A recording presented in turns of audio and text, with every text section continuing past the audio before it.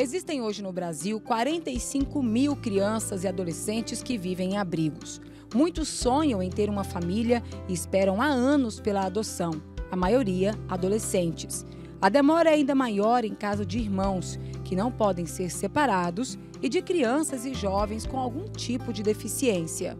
Segundo o Cadastro Nacional de Adoção, 82% das pessoas que querem adotar só aceitam crianças recém-nascidas. O número de casais que querem adotar é maior do que o número de crianças a serem adotadas. Aí fica a pergunta: por que ainda existem tantas crianças na fila de adoção?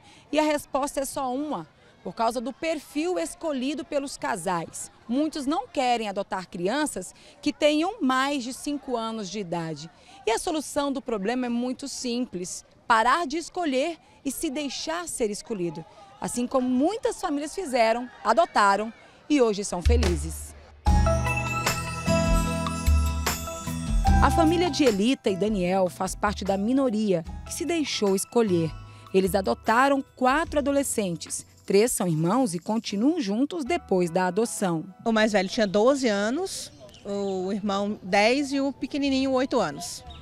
Agora a pergunta é: muita gente sabe que depois dos cinco anos, é, é, casais que querem adotar não adotam essas crianças porque já são maiores. Por que vocês escolheram adolescentes?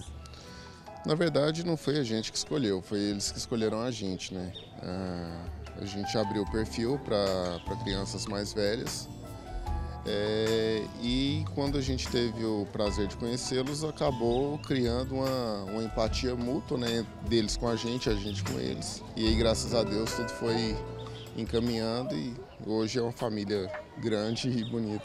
Encontramos muitas histórias que dão uma verdadeira lição de doação e amor. Luciene e Luiz não conseguiam ser pais a possibilidade foi descartada pela ciência. Depois de várias tentativas, eles adotaram um menino de dois meses. E logo depois, uma surpresa: Luciene engravidou. Muita gente fala assim: ah, foi porque você adotou e você esqueceu, né? Mas eu acho que não, que Deus tinha um propósito. Então nós adotamos, foi com muito amor, ele era nosso filho e Deus mandou outro.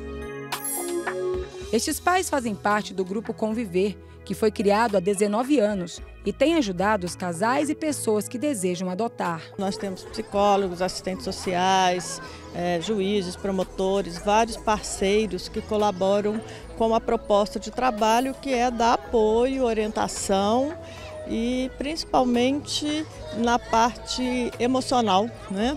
que complementa todo o processo jurídico. Sem dúvida, as experiências dessas famílias mostram que o amor se fortalece na convivência. Foi uma coisa maravilhosa, foi um presente na nossa vida e a gente está muito feliz.